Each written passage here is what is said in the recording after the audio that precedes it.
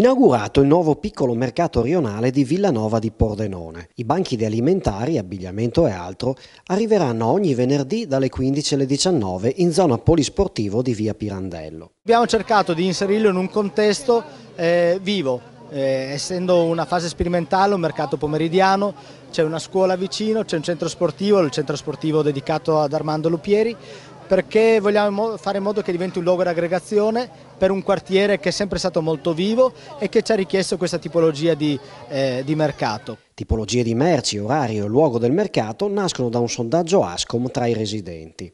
È una cosa molto positiva, secondo la mia opinione probabilmente avrebbe più, più successo qui che in piazza che era un po' isolata e per cui la gente tante volte non conosceva, mentre qui essendo una strada di passaggio, le scuole, tante attività e quindi la gente vede, si ferma, magari ha bisogno di qualcosa e compra. Il sindaco Alessandro Ciriani ha annunciato altre novità per il quartiere. Ho l'occasione anche propizia per annunciare che proprio nel 2020 partiranno i lavori di asfaltatura di una buona parte di questo quartiere che lo attende da molto tempo, quindi non solamente le iniziative di aggregazione ma anche le iniziative concrete. Villanova poi avrà tra poco anche la partenza dei lavori della sistemazione, tanto del Palazen che verrà ampliato quanto dell'intera riqualificazione della zona della festa in piazza e più la realizzazione anche di una casa di riposo moderna, adeguata agli standard per i nostri anziani. Quindi ripeto, accanto alle iniziative di aggregazione della città ci sono anche iniziative concrete che stiamo mettendo in piedi tanto in centro quanto nelle periferie. Quello di Villanova non è l'unico mercato rionale attivato dal comune. Il mercato dei produttori agricoli